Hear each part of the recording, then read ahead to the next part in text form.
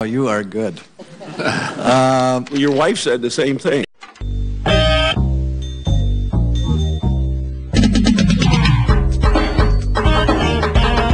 have the ability to turn people on.